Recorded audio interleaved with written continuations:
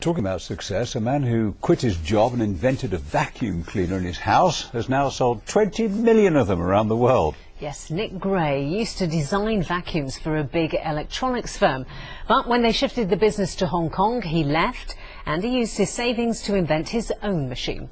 Our business correspondent Mark Goff has been to meet the man who could be the next James Dyson. Vacuuming isn't the most interesting subject in the world, but this might change your mind. Nick Grey is an inventor, and this is his invention, the G-Tech Air Ram.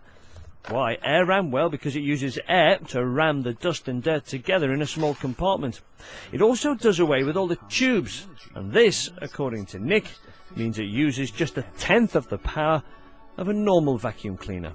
Conventional vacuum cleaners use a load of energy dragging dirt and dust through, through tubes to a bag that's far away. With the Gtech AirRam, it compacts the dirt into bales and rams it into a little bale that's, that's very close to the floor. And this consumes a fraction of the energy and gives very strong performance too.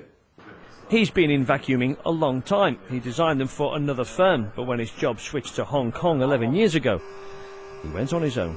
I'd saved up uh, £20,000, which I figured if I was careful could keep me going for 18 months.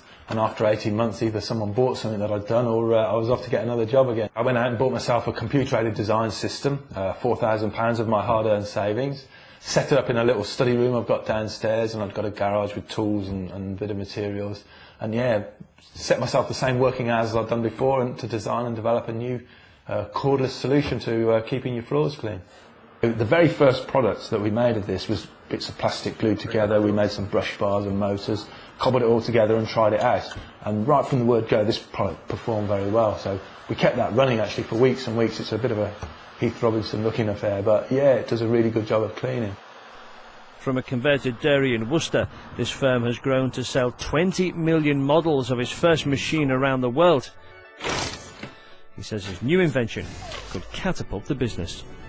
Well, I'd like to think it's worth 10 or 12 million pounds, and uh, you know we've done very well in the past. We sold uh, 20 million of our first product, but if this one goes well, who knows? It could be worth 10 times that. So uh, fingers crossed.